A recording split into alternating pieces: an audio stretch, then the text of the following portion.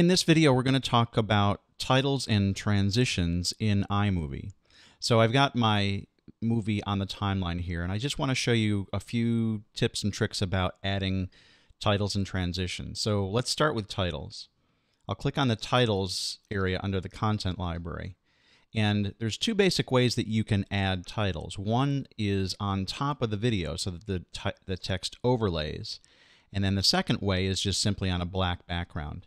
Um, one of the easiest and, and uh, most simple ones to work with is just this centered title. So all I need to do is just drag it down to my timeline and put it anywhere that I want it to start if I want to overlay the title. So I'll just put it down about here. And then we go in and we edit the text. If you don't want the subtitle, you can get rid of that and you can title it something simple like My Movie. And that's all there is. You can hit the escape key and get rid of that.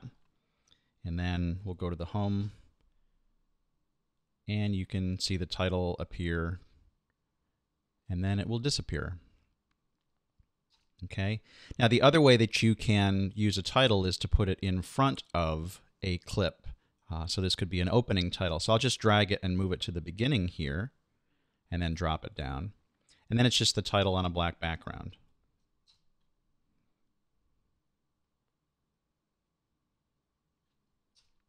Okay.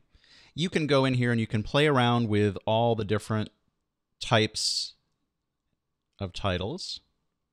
Um, there's some really interesting ones. There's even some sparklies and and pixie dust ones. So um, one of my favorites though is is the pull focus. This will actually give you kind of a an out of focus background image with the title and then bring the image back into focus. So you can play around with those.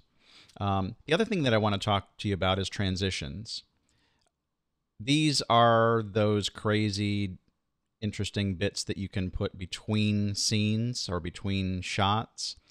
Um, there's again some really kind of crazy things here and i would say most of them are pretty useless uh, um, aside from just weird effects that you want to play around with and have fun with.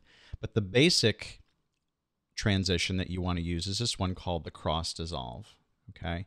Um, sometimes fade to black is a good one um, that will either fade up from black or fade down to black, depending on whether it's at the beginning or the end of the, the video or the movie. Um, but the cross dissolve is really the one that we want to use. So I'm going to just click on this and drag it down to a spot between two clips, and then the transition will be a cross dissolve. Now, you, again, you can use any of these transitions, but the default transition for iMovie is cross dissolve. And by default, I mean that's the one that is actually uh, kind of the built in transition for anything that you that you put in. And let me show you what I mean by that. What I'm going to do is highlight the rest of my clips down to the end of my movie. And what I'm going to do is hold down the command key and hit T for transition and watch what happens. In between all those clips, is the cross dissolve transition. So if I play my video from here, you'll see a cross dissolve between these two clips.